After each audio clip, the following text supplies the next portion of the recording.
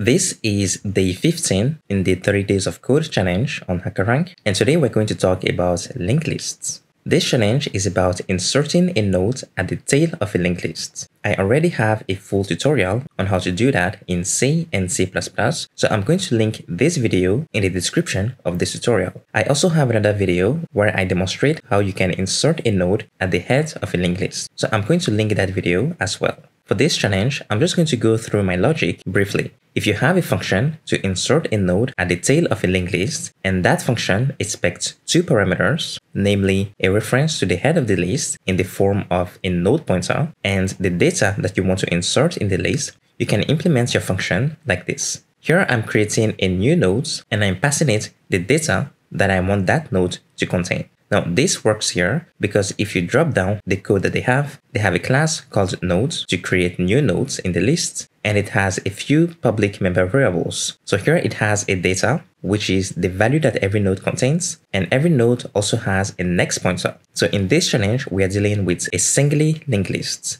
In other words, our list can only be traversed in one direction, from the head to the tail. Every next pointer here is going to be set to null until we specify the address of the node that it needs to point to. In the constructor of our node class, we get the data that we want our node to have and we assign this d parameter value to our data member variable and then we set our next pointer to null. So when I come here and I create my new node, this node pointer is going to point to a node in memory that contains this data. If our list is empty, then this new node needs to be the new head of the list because it's the only node. Otherwise, I'm going to get a reference to the head of my list and I'm going to traverse my list from the head until the last node. Once I reach the last node, I want to set the next pointer of that last node to the new node that I've just created here, meaning that this new node is now going to be at the tail of my list. When I'm done, I return the heads. And this is because when you look at the task here, they say we need to insert a new node in the list and set it at the tail of our list. And then once the new node is added,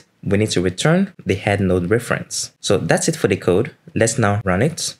We've passed the test case. So I'm now submitting this challenge